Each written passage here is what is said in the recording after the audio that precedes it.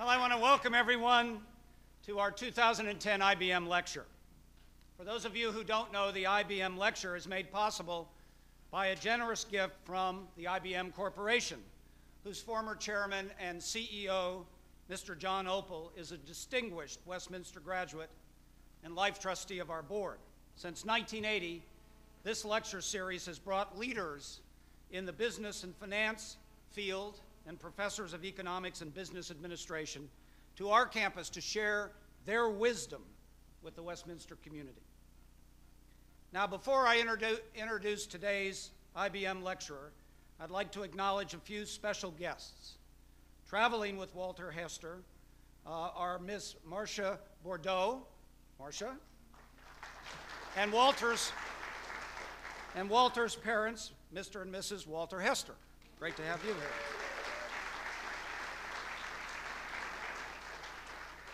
Mr. Mike Dalton, who is the president of Maui Jim. Mike?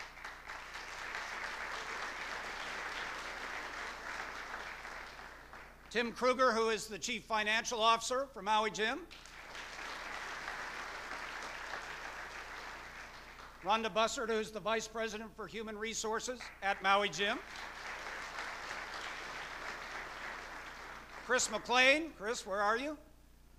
From Maui Jim. And Chris Abruzzi, uh, Vice President for Advertising for Maui Jim.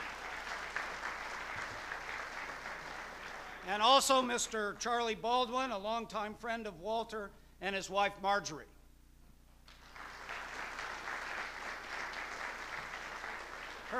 Turns out Charlie and I went to the same high school in Hawaii although I pre predated him by a few years, one or two, just a few.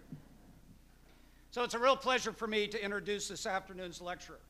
Not only are we welcoming back one of Westminster's own, but we are saying aloha to someone whose Westminster education helped pre prepare him to build and lead a very successful global enterprise. More importantly, we're welcoming a man who lives Westminster's mission every day through his company's philosophy, which he's selected for today's title, Living Aloha.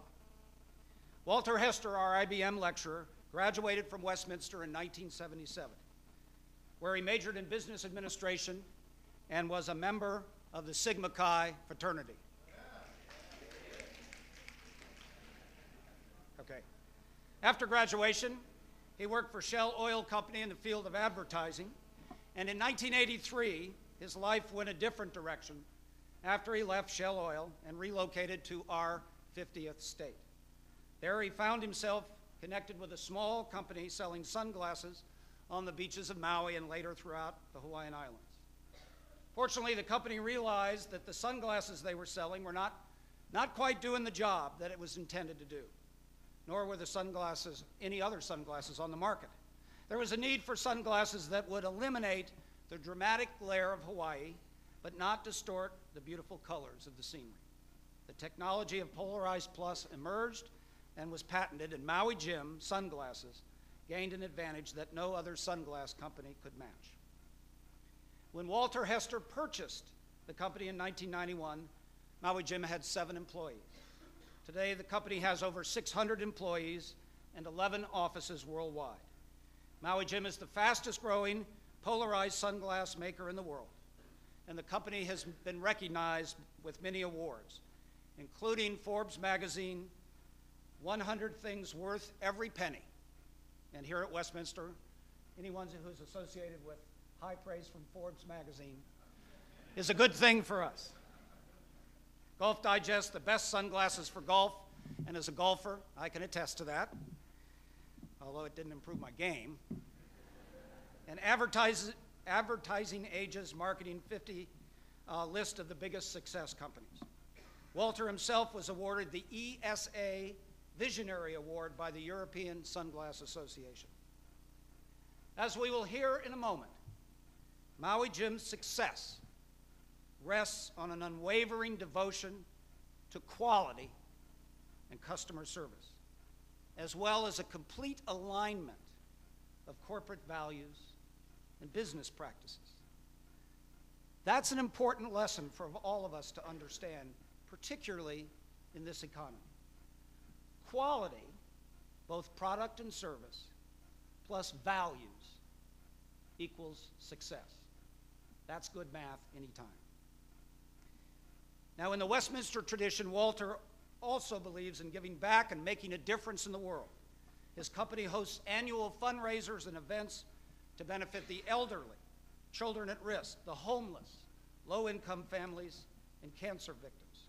For Walter Hester, it's always, always about people. And today he's going to share with us some stories of the principles that have led him to the top of his field as CEO of Maui Jim Sunglasses and that have propelled this great company to prominence in a competitive international market. I want all of us at Westminster to pay close attention to Walter's message and to Maui Jim's story. We will learn what it means to be a successful business leader of character in a global community. But before Walter comes to the podium, I think it's very important for all of us, and me included, to get into the Aloha spirit. so I want to shed my button down and get into the Aloha spirit so that we can all learn how to live Aloha.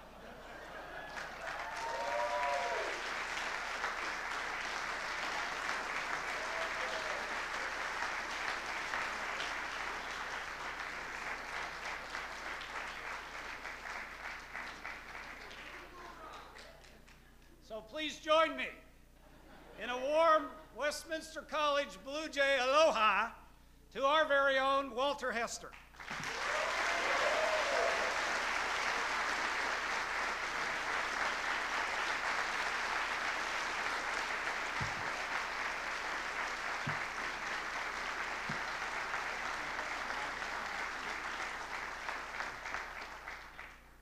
Must have been really hot. um, thank you, Dr. Forsythe. It's, it's good to be here, but first I have to start this out with aloha.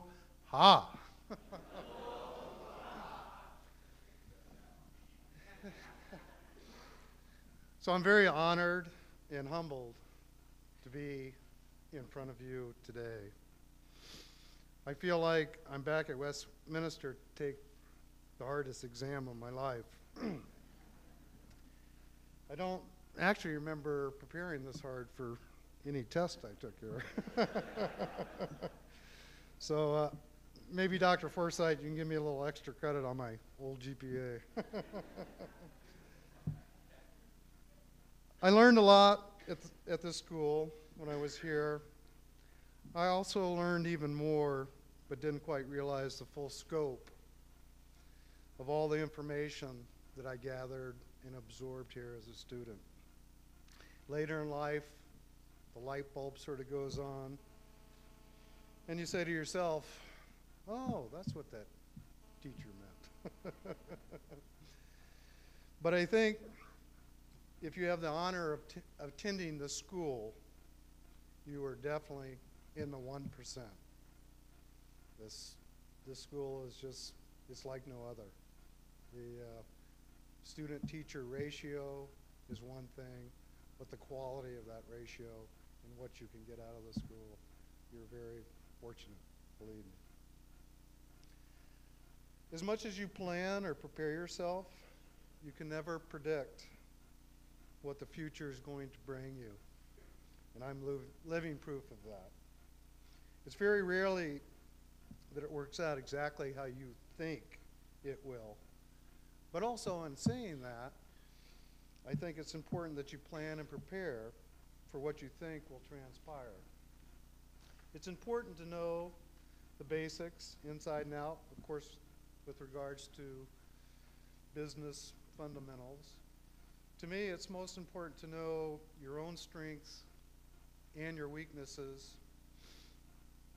You must be very comfortable with taking this type of objective view to really look at your pluses and your minuses. And then you must work hard every day to improve all your talents, both good and bad.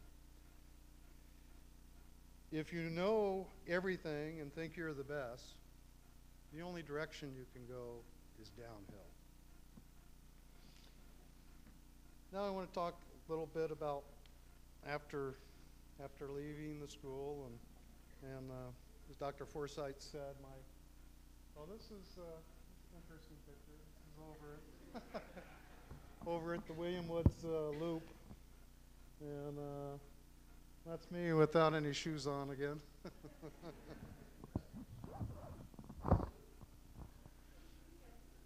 yeah, and there's there's some other people in this room, but I won't uh, pick them out. But this is me in the uh, overalls and the hat. but but after school, I went to to work for Shell Oil, and um, really a, a, just a great company. Very smart people, um, a great company. Uh, at first, I worked in sales, and then um, probably the, the last five years of that, I was in marketing and advertising with them. But it was very interesting for me because um, in Shell, you had, of course, much more people smarter than me, but we had sort of phone books of what we could do and what we couldn't do, and, and um, well thought out by very smart people. Um, but to me, um, it really didn't quite apply what kind of goes on in New York. Would it be the same thing in Los Angeles or, or let's say in other countries? So, so that's one of the things that I looked at that I said, well, if, if, if I was there, I'd kind of do things a little different. But anyway, after about, I think, nine years with Shell, then uh, came to the the position um, that I wanted to work for myself. And, and when I first started with them, um, I basically was working with the gas stations, and uh, the they were all entrepreneurs and they had their own business, and this was seemed attractive to me. So, but anyway, it, after about nine years, I went and um, sold everything and cashed in my pension and sold my house and just said, I'm going to uh, Maui.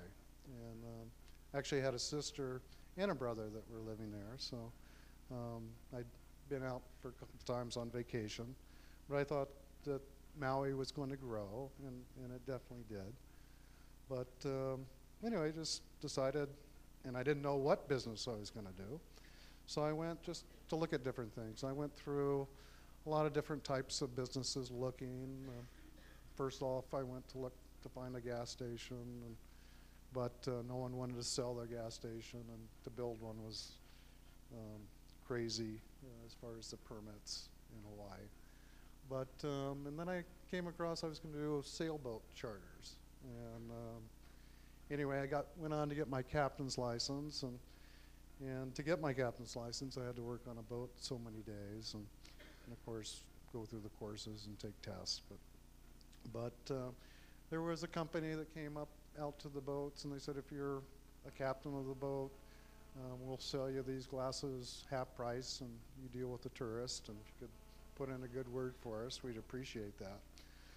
So I bought my first pair of Maui sunglasses, and and then my whole business uh, outlook changed and said, well, I don't know if the sailboat's such a great idea. Maybe these glasses, because um, the the people that that had the glass, they had two retail locations. They didn't do any wholesale glass or wholesale business at all, and basically they they had the uh, pool decks for the Sheraton and also the uh, Maui's, or I'm sorry, the Marriott. And they sold suntan lotion and handed out towels and, and sold these glasses. And uh, this is the original guy here. anyway, I, I that, that's definitely not me.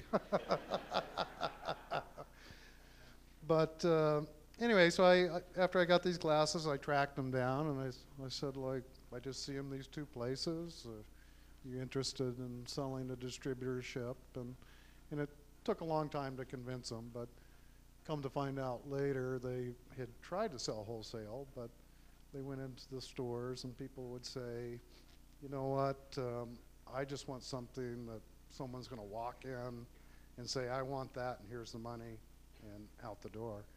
So, um, so in the end, they said, okay, we'll sell you the distributorship for Hawaii. And I purchased that. And um, he sold some other distributorships on the mainland uh, after mine, but I think I probably sold 85% of all the glasses um, through Hawaii. And then shortly after that, a couple of years, uh, the company went bankrupt. And um, this was, uh, you know, a big thing because you, to myself, I'm thinking, well, here's a great product, but yet it's, it's the company's bankrupt. And um, so I think uh, in my mind, it's, it was, well, one, mismanagement, but two, you know, it really comes down to the people. And that was a, a big thing for me that here's this great product, but no product sells itself, no product fixes itself. And, uh, and really, it, it comes down to the people.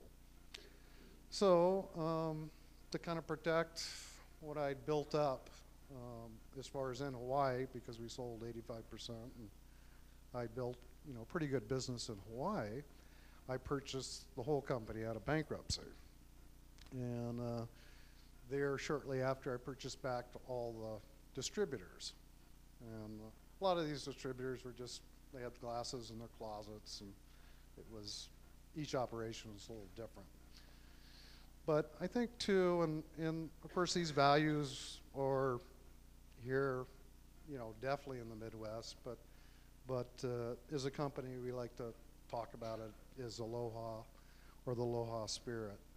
And I think it's things that will, that you'll feel that that's here at the school and that's in other places, but um, I think this all puts it in per into perspective. So I'd like to talk a little bit about the Aloha spirit. So in 1850, the, the sugarcane companies came to Hawaii and, and they offered the Hawaiians to work in the fields and live, live in the company housing and purchase their groceries at the company store. And, um, and they offered them very minimal pay. And so, you know, I want to say you know, a dollar for the month or something like that. But, but most importantly, um, they really didn't allow the time for the people to um, nurture their culture and their religion and their way of life. It was basically a 15 hour day working in the fields. Well, the Hawaiians were smart enough to say, you know, the heck with that. Money's not everything. You know, my culture and, and, and other things that we're doing are, are very important too. And then, of course, the King Company says, you know, damn, those Hawaiians are lazy. but, but really, the Hawaiians were, were very smart, and it was a, a very, um, it was a very good uh, call on their, their part. But where this is leading is that what transpired is they imported all these workers from Japan, Philippines, Tongans, Portuguese, I mean, on and on and on. And all these, these people or cultures moved to Hawaii and, and they harvest the cane and they built all the infrastructure as far as the, the roads and the bridges and the waterways and and right now today in Hawaii there is not a dominant race, race, or, or, or, I'm sorry, culture, color, or religion. And, you know, even though the aloha word goes way back in the Hawaiian vocabulary, I think this put really the aloha spirit to test. Because um, in my mind, uh, let me give you kind of my meaning of aloha and it's to have respect for different cultures, race, religion, and beliefs. Also, to live harmoniously with one another. To, and again, to treat people as you would want to be treated. And also to understand in life that we are all dependent on each other. To, op- to operate within this Aloha spirit not only elevates, empowers, and ennobles people. So I'm here today to tell you how Maui Jim puts this type of aloha spirit into our everyday business. Um, this is a slide. This is um, one part. So I'm going to just kind of section off each one. This, this little section I'm going to talk about employees. And, and down here in the left corner, we have like a state-of-the-art gym. It's 24 hours. The employees can come in and use it. We bring in trainers, um, special classes, just, just something that we don't have to do, but makes their, their quality of life better. Um, this is a group of employees fishing. This is just uh, some guys having fun. This is actually a group on their own got together and they decided that they're going to wear shorts and flip flops um, throughout the winter. And whoever lasted the longest got a free pair of Maui Jims. So, and this is just uh, team building. It, it, we had to build a boat, just uh, some fun stuff that we try to do with, with our employees to get that unity and, uh, and bond. But I feel that our people uh, is, by no question, our most important asset. And we try to create the, create the happy environment. Also, um, each employee has a chance to own stock in the company, even though that we're not a public company, we're private. Um, as far as benefits, uh, probably, I think we pay 45% or 50, almost 50%. Whatever your salary is, that person also gets about 45, 47% in, in bonus, or I should say benefits, whether it's medical, uh, 401k, um, bonuses, what have you. Um, in we do things a little different. Everyone has bonuses, not just the salespeople. We have it for the people that, that are, you know, janitors and shipping and advertising, everything. Um, we also don't, don't put any caps on those bonuses. So it's kind of like if the company does great, you do great, but most of all, we want to make sure that we connect that person that, that they can make a difference. That, you know, one person can make uh, a big change in, in what we do. and I think another thing is, too, that's very important, we, we try to let them be themselves. We, we're not looking for a cookie cutter type situation where you know you have to dress like this and be like this. In fact, we don't have a dress code. We don't have any assigned parking places. Uh, well, except if, if you're pregnant, you do get a, a sign. We don't have any time clocks. We don't have uh, video surveillance inside. But um, most of all, um, and I wish you could could really meet all our employees because everyone is is totally different. I mean, totally different. I mean, one's a hunter, one's likes ballet. I mean, you know, one's country western and one's metal rock. So, um, but somehow we find that, unity or a common thread that pulls all them together, and we call it our aloha spirit. I think it's important that that uh, you know in work that you also create a passion in a purpose in the workplace and uh, we try to come up with creative wa- ways to do that, but most of all, make sure that that person feels like they can make a difference. Um, also, I think you have to be truthful and consistent in your policies, and I think that's just good business wherever you are. Um, and then we always try to, to help with with other people's or other employees' uh, successes, but also acknowledge those achievements. Um, and this is probably one of the biggest things, I think you have to trust the people and uh, give them the leeway and authority. And uh, if you really look at Maui Jim and the structure, we have very, very few people for what we do. And, and if you're in customer service or repairs, that person that picks up the phone when you dial in has the authority to give you a free pair of glasses or do whatever they need to to really satisfy that person and make them happy. Our goal is really to ex- exceed one's perceptions or um, when it comes to something like that as far as repairs or, or where we get to touch you know that customer. But also in other areas too our sales reps have a lot of authority.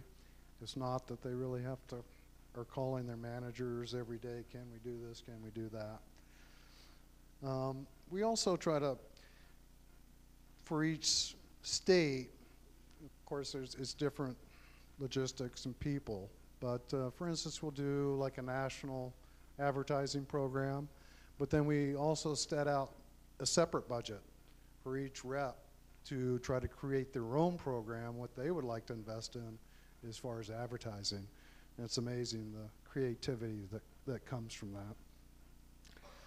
that. Um, and this is another big one on my list that you have to listen to them. Listening is, is one of the most important things, and, in some businesses, uh, I just don't know it, that it happens. Um, training is key, um, and then we are really striving to teach those employees to be teachers. Um, we try to cross train our employees so if they're in customer service, they can switch over to here and they know that business. And, and in addition to that, if they, if they understand someone else's job better, then it enables them to their, do their job that might affect that person in, in a more um, efficient manner.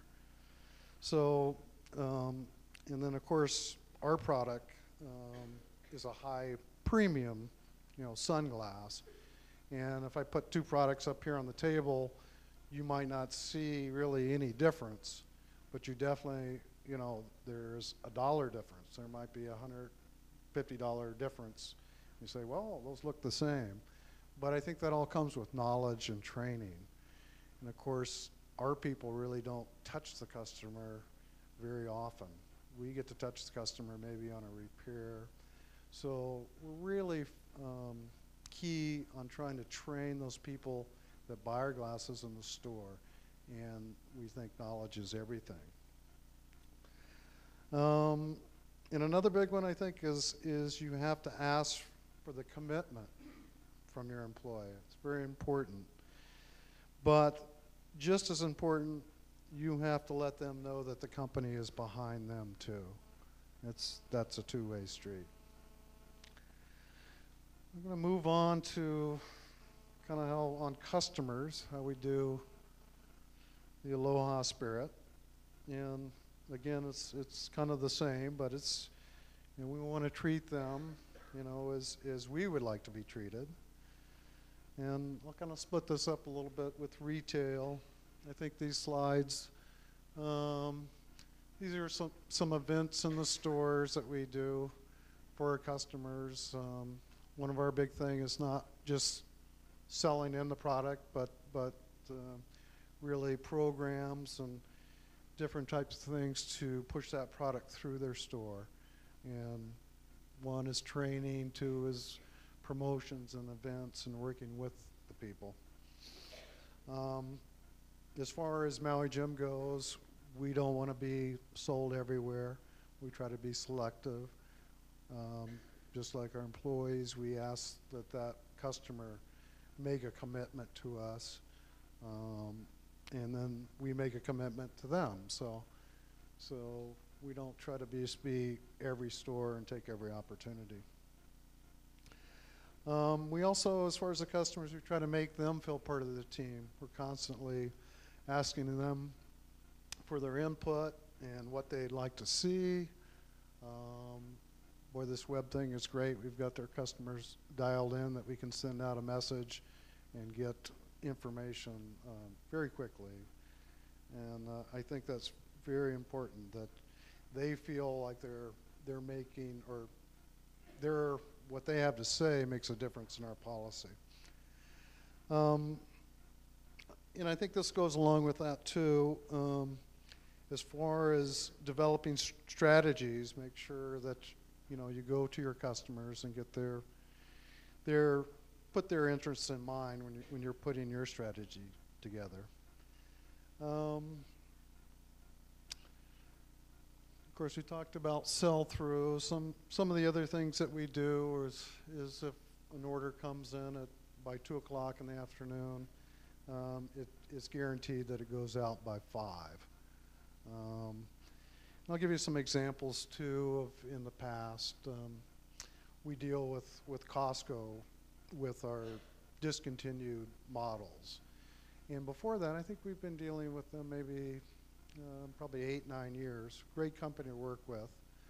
Um, prior to that, all the other companies, when they got a little bit overloaded with inventory, they would sell that product to Costco and just, you know, take that off their books.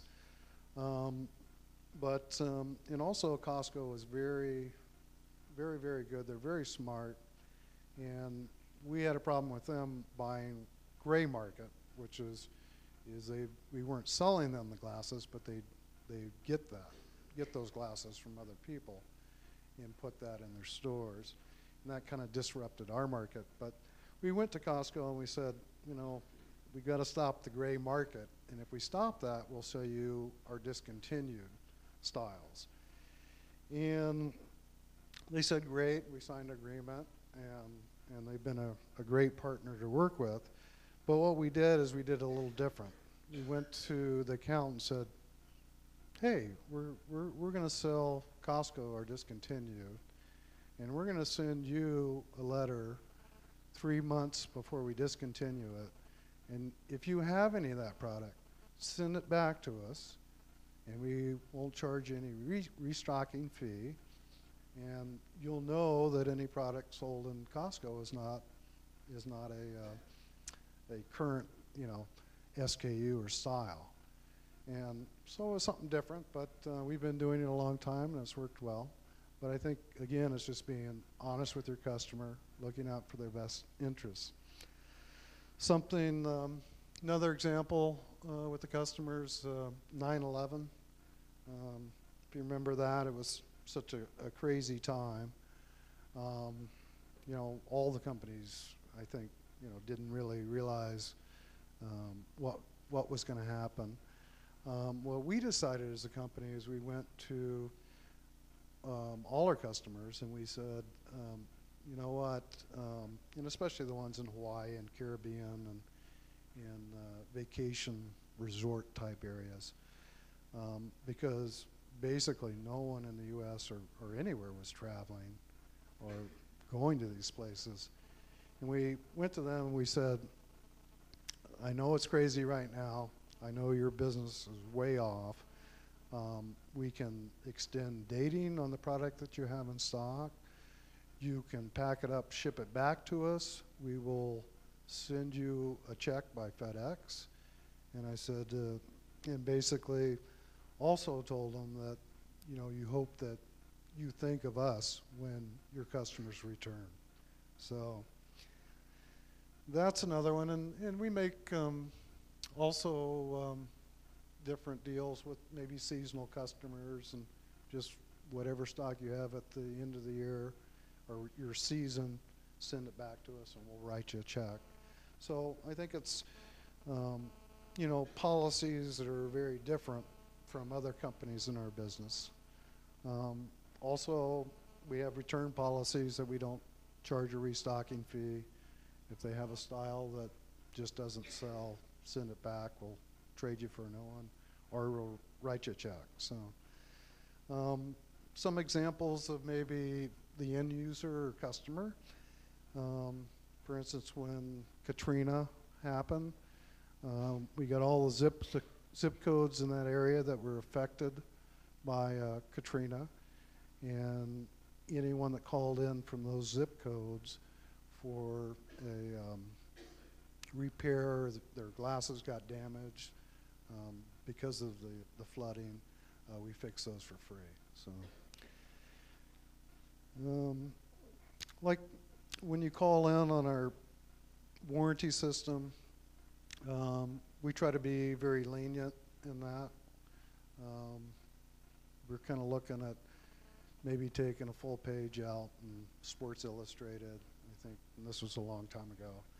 I think it was about fifty thousand dollars. I said, well, you know, what could be uh, even the best advertising would be to really exceed someone's expectation. And as a company, we, we rarely get to touch our end user. It's, it's, it's funny because we don't have a retail store.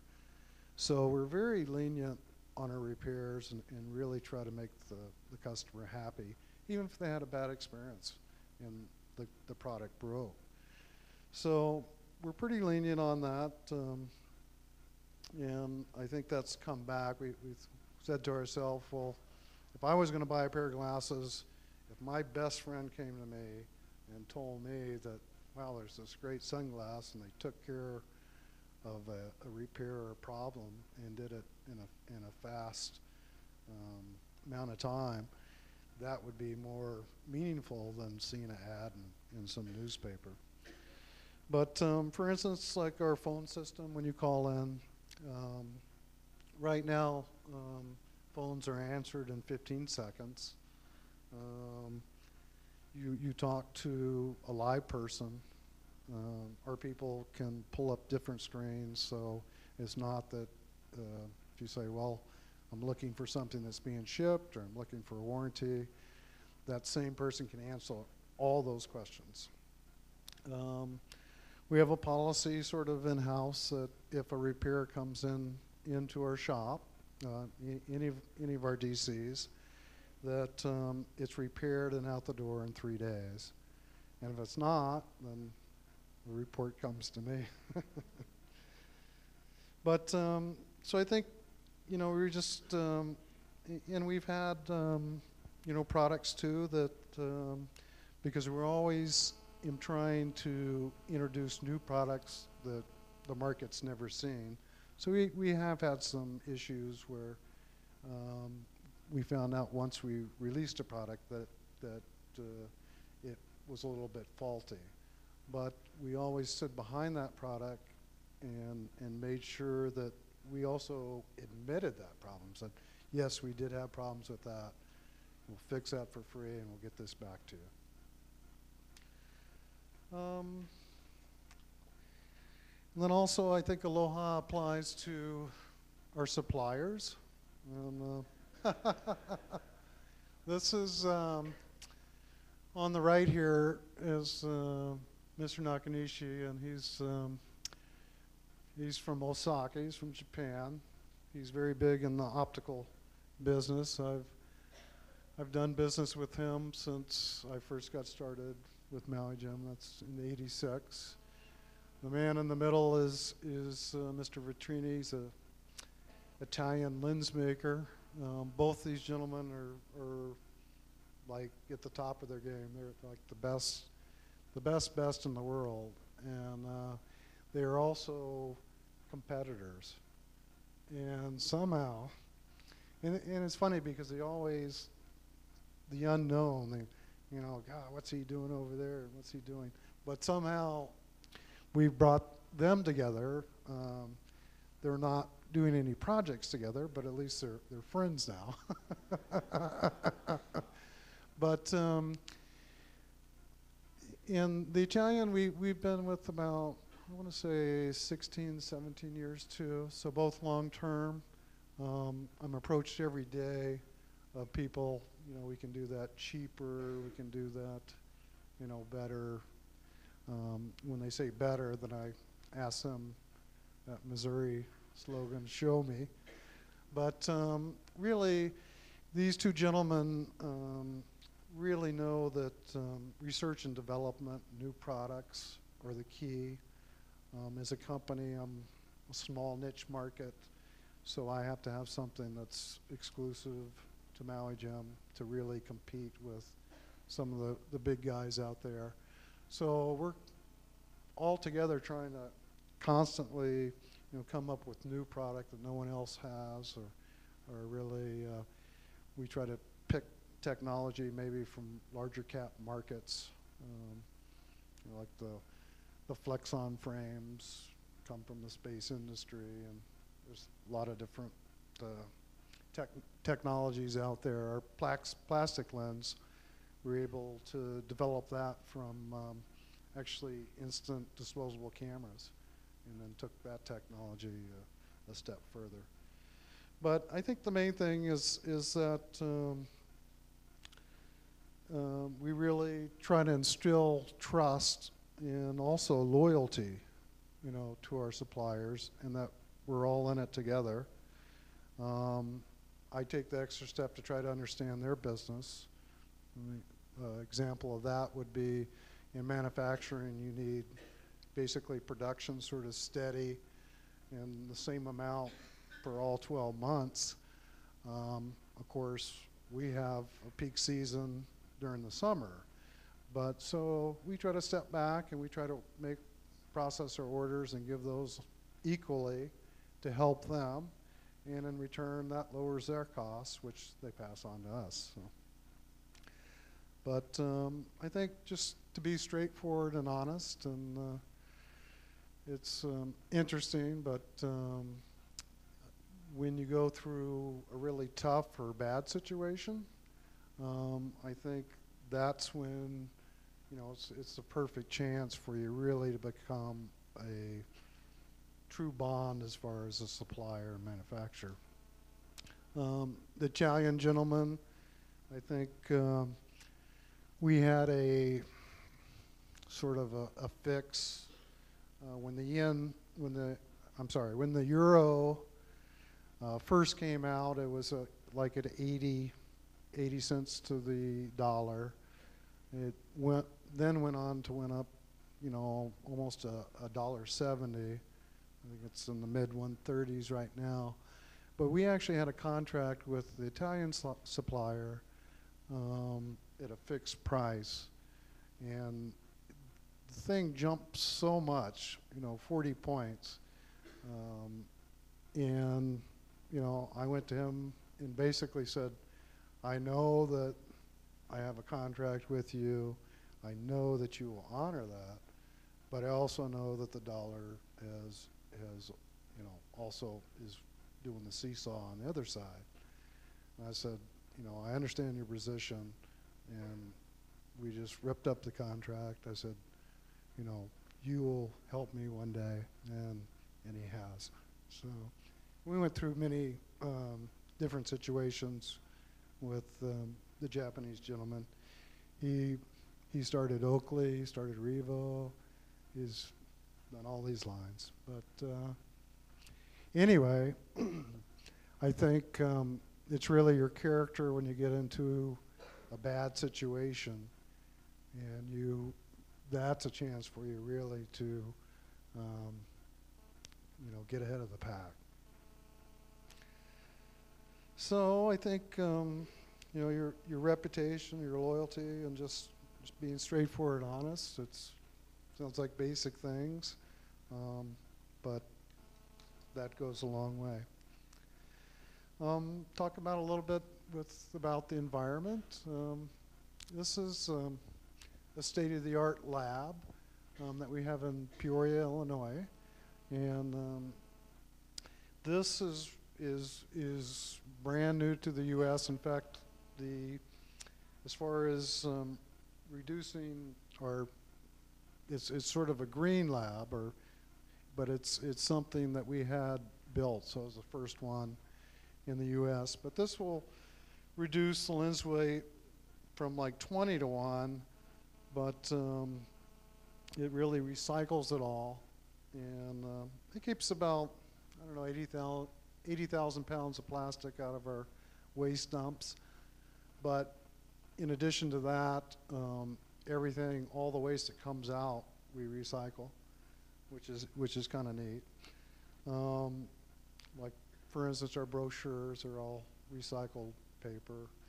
Um, and right now, we're looking at different frames and lenses that are, are recyclable, so I'd like to see more of that. Um, we're also coming out with the fishing sunglass line that will, every a certain percentage of sale will go back to a foundation that cleans up our oceans. So, so we're very aware of that, and uh, and uh, there's a lot of other projects that we're doing too. But but it's good for us to be. And so I guess now we'll talk a little bit about community. We we feel that uh, we're all on this planet together, and we're all dependent on each other. And these are some of the charities that we get behind and do. And I think one of the most important things is that we just don't put a collection thing, but we really get our people involved. And, and it's just amazing what satisfaction our employees get out of doing this. So, um, and we could go through all the numbers, but we've we've got a lot of good causes that that uh, that we have, and we feel that um, you know you have to give back to com- community. That's what it's all about. Um, I'll talk a little bit about international business. Usually, I don't separate that because we just kind of I kind of look at it all the same. But I know it's one of the missions of the of the college, so in this speech, I'm going to separate it a little bit. But I'll talk about how we kind of determine a market and, and kind of up on our radar, we'll, we'll, we'll see different countries that, you know, have, has the right demographics for our product. Uh, and we are a premium, expensive product. Um, and then after we kind of do that, then we, we do our research on it. Um, you know, I think it's very important that you get, you know, really good uh, legal help that's in that country because each country is so different. I know in France we started a corporation in France and and basically we found out about four years later we couldn't sell any t-shirts or apparel because we had set up the corporation wrong. anyway, we had to go back and, and it was very costly to, to change that. But but I think that's um, you know just a given that you have to really get someone that's very smart. Then you have to pick a person um, you know that's um, familiar with with your business in that country, and really try to pick uh, you know someone very bright. Uh, by the way, um, we have 11 foreign offices, and not that we really strive for this, but we we don't employ one American in all 11 foreign offices. And um, we really feel like we need someone that's from that culture that understands that business. Um, and, you know, you can go through all the differences. Um, you know, some charge for shipping, some don't charge for shipping. Those are easy to figure out. But um, but I guess what um, I'm trying to say, you have to find the person that's that's really um, understands your product and and also those markets. Uh, we went to also to to pick a location. We went to the experts and and our first um, besides Canada, our first foreign market was uh, France. And of course, all the experts said, well, you have to be in Paris. And, but then we, we thought, well, you know what? They would tell us to be in New York City, yet Peoria works fabulous for us. so we kind of did the same thing in, in the different countries too. Uh, instead of going to Paris, we went to Montpellier. Uh, basically, we're looking for a location that has a good workforce, um, also that has an international airport. Um, and sometimes, you know, by picking a lesser, you know, major city, uh, we can get, um, you know, a much higher caliber person, um, and just not all the problems of the big city. So, um, each each of our offices in the U.S. and, and also overseas, um, they all operate um, with their own distribution, their own finance, their own marketing, and their own sales. So we tie it all in- together, and of course, we have a very, very strong uh, MIS um, division, and uh, we know every color, every style, you know, instantly as it's sold. Um, also, all the counting too, all is linked together. But you, you just really have to realize that every country is, is very different, and you have to listen to those people, and and you have to let them do their own thing. So, um, and then, for instance, example, um, we have again, you saw the uh, prescription lab. We do, for instance, uh, prescriptions, glasses, and we were selling in the, in the U.S. and putting out what we thought was a pretty good product. And then when we opened our German office, um, you know, they all started coming back and these complaints that, you know, your quality is just not there. And so interesting enough that, that um, of course, in the overseas market, the, the prescription part is so advanced than the U.S. And uh, it really made us open our eyes and bring that level of quality up. And we knew if, if we could make a German customer very happy with our finished product, then we just wow someone in America. And that's what happened. It just brought that standard all the way up for these different countries. And, and I think that's sort of neat. But as far as employees, I think it just adds to the mix. It's, it's, it's so neat to get all these people together and, and kind of uh, with that common thread. Okay, now I'm going to talk about strategies and long-term goals. There's a, that's my bird Jimmy, and that's my two dogs. um, one, as, as I talked about, we have very thin layers of management. We really try to empower those people to make a decision and, and not all these checks and balances. Um, and I think, too, really recognize your markets, market and make sure you focus on that. Um, we talked a little bit about that for my business, it's really important that we have something that's different from our competition and exclusive. Um, we try to make a plan that's that's attainable, but I think the most important part of this to make a plan that's obtainable, that you really get input and a commitment from those people that are responsible for carrying out that plan. Um, bigger is not better. We don't uh, don't be fooled by that. It's uh, usually uh, bigger comes uh, with some some hooks in it. So um, my suggestion is be careful of that. I had a long time ago a large account come to me and say, "We want to put you in a thousand stores," and and at the time, um, it would have meant that I would have had to go to the bank to to borrow that. Uh, money for the inventory.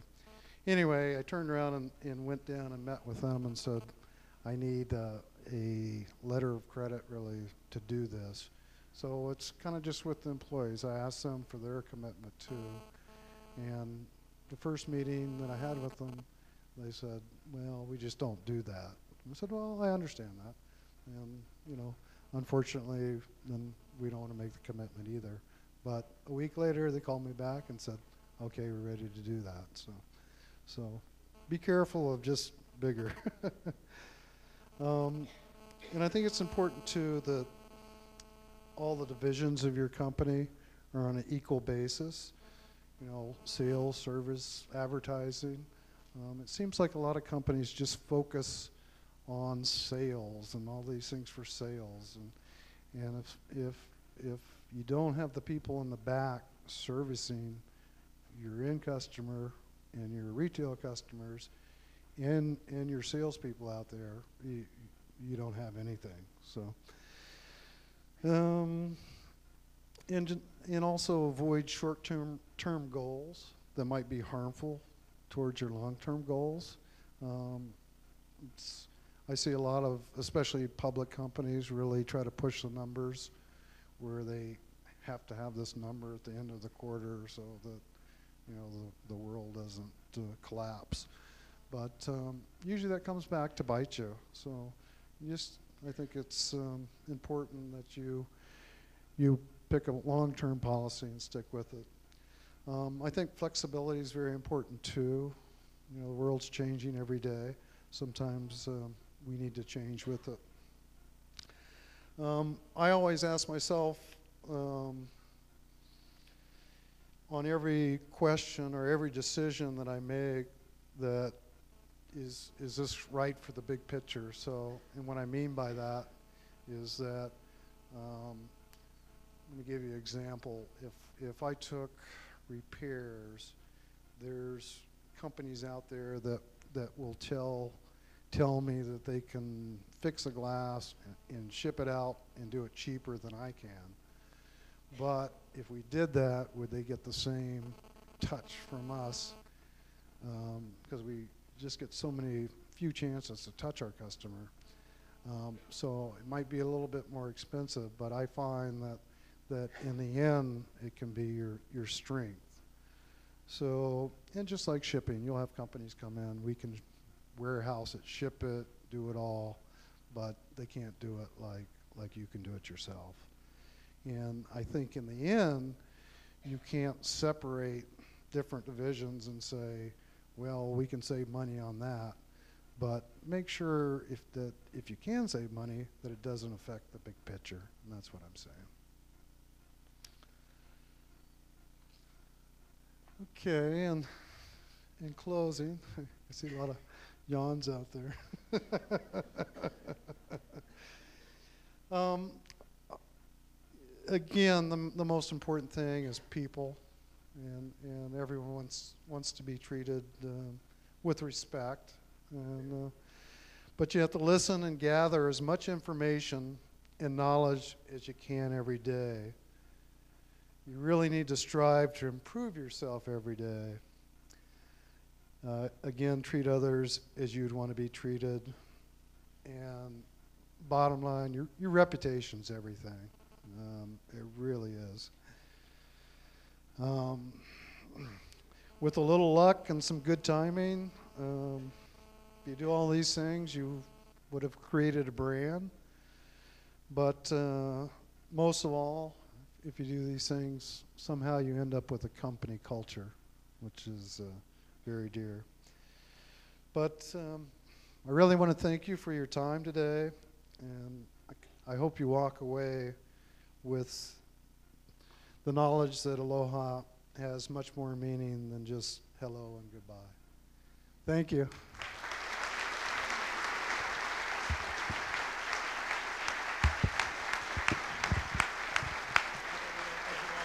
Mahalo. Can you take a few questions? Would you take a few questions?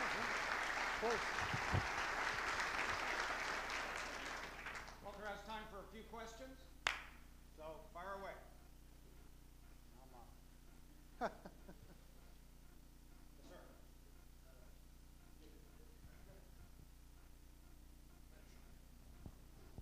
sir. Uh, I, I, I have Paramount Gyms and I love them. They're my favorite sunglasses. And I think part of it is because the Aloha spirit does transfer, transfer through to what I'm wearing. I don't feel like I can frown in these things. I just, I'm laid back. And I'm not trying to run, you know, I'm not a play in the audience. I'm not trying to run a pitch here. But uh, I guess my question to you is do you think you could make the same product without having this corporate culture? No, and I, and I think we've proved that because although the products changed um, from when the company went bankrupt, I mean, it was uh, it was a good product at the time. It was just a, a gray lens and four styles, but um, we've changed that a lot. But it really comes down to the people, um, no question. And hopefully, if if you meet some of our employees, I think I think you'll see a difference from other people, and that's that's what makes us different. No question. Would you like to say anything, Dan? No, I agree one hundred percent. It's, it's the integrity and trust that you build over the years that pays off big. No question.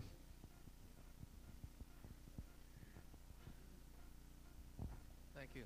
Uh, I'm curious, uh, as when you expand in other cultures, other languages, uh, how you interview people to hire them. What's the process? Well, we usually go to, I would say, like the stores and people that would, would want to sell our product. We ask those people who's the best people in the industry. And that kind of gets us started. Um, we do require that those people also have a sec- second language in English because we do need to communicate. Um, but really through the, you know, just the interview process, and then we will bring them in and they interview all our officers and our people. And we just ask them questions and really they come back with a little scorecard. And uh, I think one of the things that we've done too, we've, we've left areas open. I mean, even a year or a year and a half, just because we didn't feel like we had the high caliber person. I mean, we had people applying for the job, but we just wanted to wait out for maybe just a little higher caliber. So, so it's really make sure that we do the right thing. But uh, the the sunglass business and opticals, a very small group of people. It's it's it's the same ones over and over too. So it's a small community. You you get to know the people uh, pretty quickly. Hope I answered your question. If not, my human resources vice president's up here. she could give you a better better overview. yeah, Tom.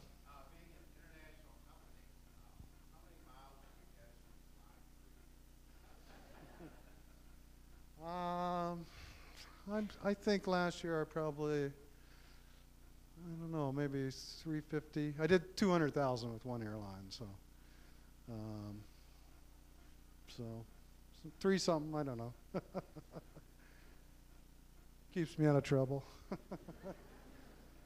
Somewhat. Anybody else? Uh, You say you don't sell your product to the end user, only to retailers. When the end user has a problem, uh, do they go to the retailer they bought it, or they go to your to the company? Um, they can go to both. A lot of people like to go back to the store that they bought it in, but on our brochures we have our number, so it's just really whoever they contact first. Sometimes the stores will say it's easier just to call us, but but um, so they can go either way.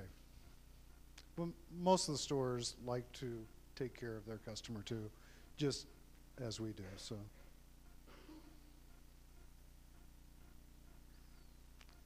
This question right here. I'll be the mic In uh, in terms of marketing, what were your first steps in getting your product known, and were there like what were your problems at first?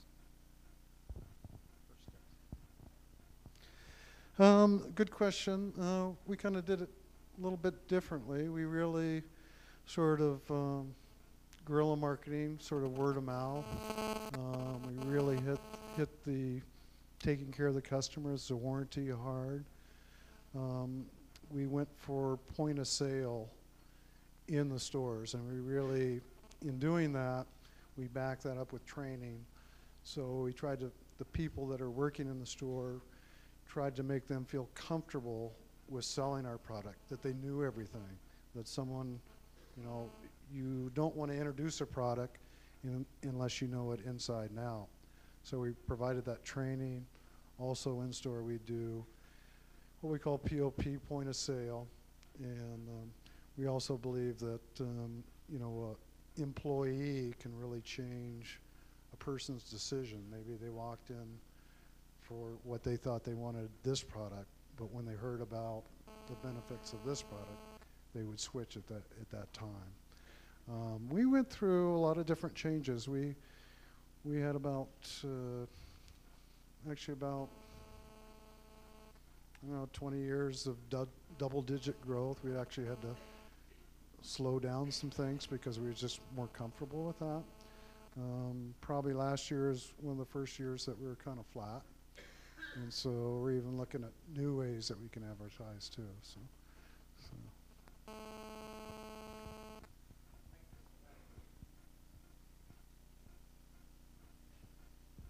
Uh, do you think that being an ethical company and having an ethical reputation makes it easier to find suppliers and retailers that are willing to work with you, especially early when you were growing?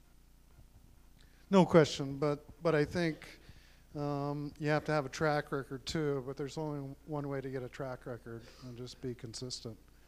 But um, it's no question that the two companies that that I really deal with mainly, um, if they develop any type of new technology, they will bring it to me first.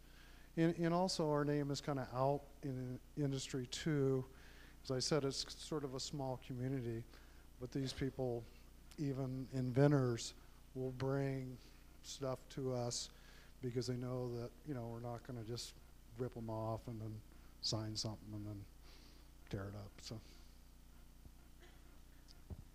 I've been fortunate enough to deal with Walter and uh, members of the Maui Jim team via email over the course of the last couple of years. And uh, one of the things I've noticed is that every email begins with aloha and ends with mahalo, thank you in Hawaii. And on behalf of the entire Westminster community, I want to say mahalo for your fabulous and inspirational talk and for all you're doing to live the Westminster mission every day on behalf of the world. Thank you very much. Let, us give Walter Hester another round.